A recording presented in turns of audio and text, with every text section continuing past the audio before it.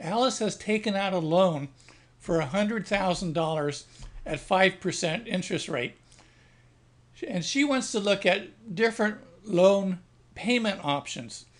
So what we've done here is we've created an electrical model to model Alice's loan and her payments. Now it, here we have a one farad capacitor. The charge on this one farad capacitor is going to represent her debt, her loan amount. We've labeled this particular node debt.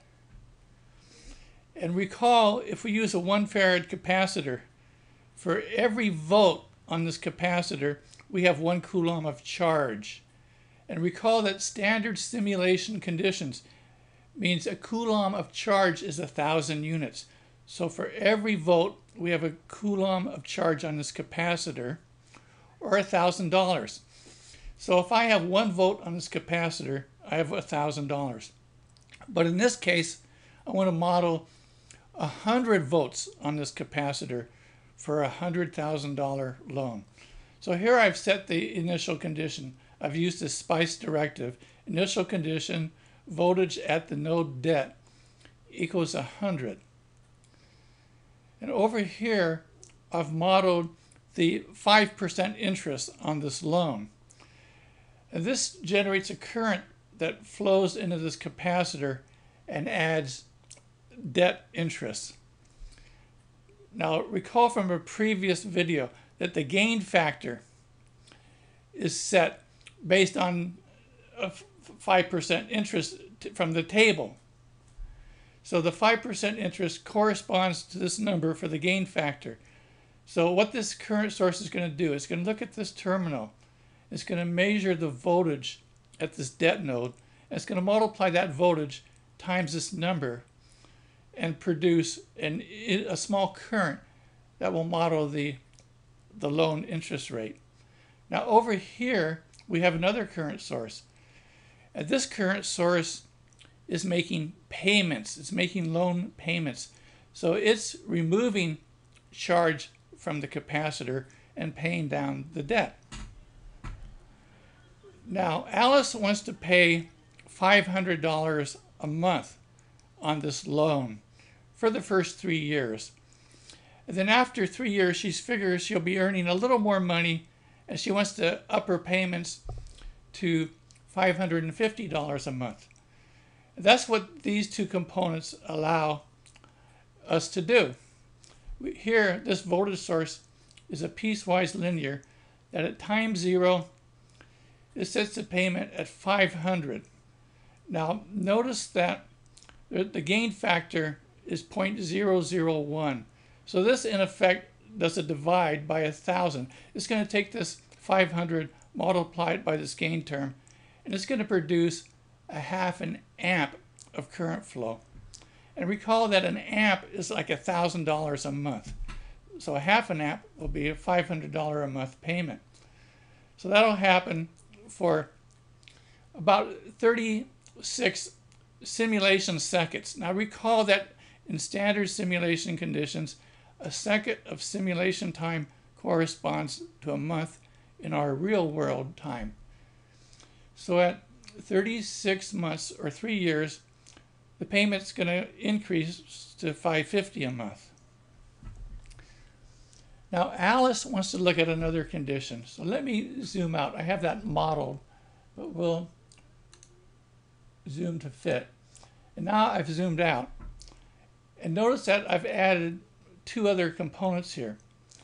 This is going to model a one-time payment that Alice wants to make at 10 years into the loan. She wants to pay an extra $10,000 just to cut down on her interest payments. And she figures she'll have 10K saved up in 10 years. And so what this V2 source does is it executes this piecewise linear statement. And what that does is it sets a little pulse, a little voltage pulse that gets converted into current by this current source. And it sets that pulse at 120 months into the loan. So this allows me to model a future condition. And what I've done here is I've set this pulse to be 100 volts high and this pulse width to be a tenth of a second. And this gain term right now is set to zero, but I'm going to later set it to one. And that will cause this 100 volts to produce 100 amps for a tenth of a second, which is equivalent to 10 coulombs of charge being removed from the capacitor. So recall that 100 amps for a tenth of a second. Now charge is current times time. So a current of 100 amps for only a tenth of a second will be 10 coulombs. So that's what this is going to do. It's going to wait for 10 years and it's going to make a payment of $10,000 or 10 coulombs and it will discharge this debt node by 10 volts. But right now, this current source won't do anything because I set the gain equal to zero. So all these numbers here will be multiplied by zero and it will have no effect.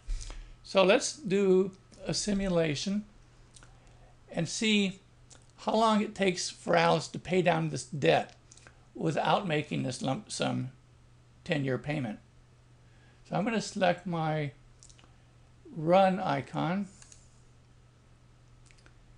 and let's probe our debt node. And here we go. We start with 100 volts as expected and the debt is paid off approximately. Let me expand this so you can see it a little better. And you can see over here, she's paying 500 a month. Then you see uh, about here, the slope changes a little bit and she switched to 550 a month. And when we reach zero volts on the capacitor, the loan's paid off. So let's zoom in there and let's give us a cursor here. And let's find about where zero volts is. So let's take this, let's bring it over here to zero. We see it's about 342 and a half months.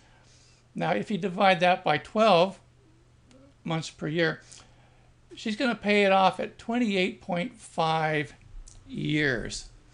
So let me get rid of this and let me change this back. Let me get rid of this. And let me let me expand this. And we're going to change this gain term from 0 to 1.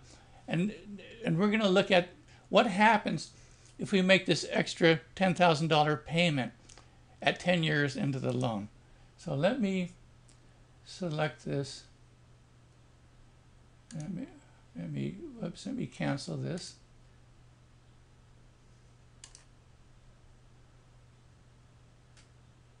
Okay, let me select this value. I'm going to make it 1. Select OK. So we see that the gain has changed to 1. So now this current source is going to activate. So let's resimulate. I'm going to select my run. And now let's probe well, let's probe this little pulse here, our one-time payment. So let's zoom in here. This is our one-time payment. Let's zoom in again. And so this shows that at 120 months, there's a, a payment here that this current source is enabled and we're going to pay off $10,000. So let me change the view here, zoom to fit. And now let's probe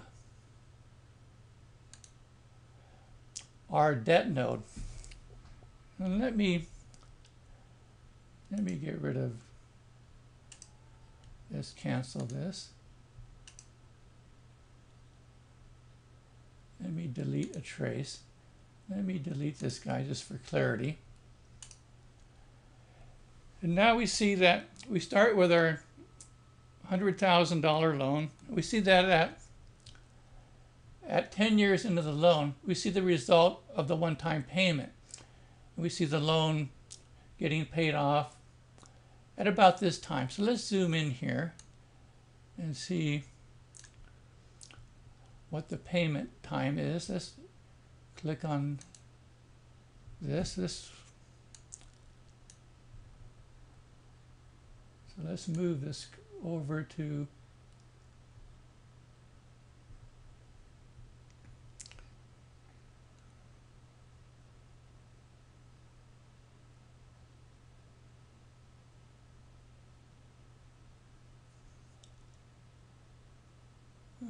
Okay, so it looks like it's about roughly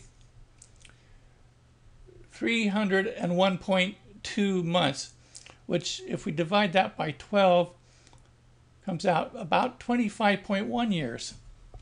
So now what has happened here, by making that one-time $10,000 payment at 10 years into the loan, Alice has shortened her loan payments by 3.4 years. Now, 3.4 years of paying $550 a month is saving her a lot of money. So she is saving about 22,000 over $22,000 by making that one-time payment of of $10,000. So she's net saving over $12,000 in interest payments by making that additional $10,000 payment.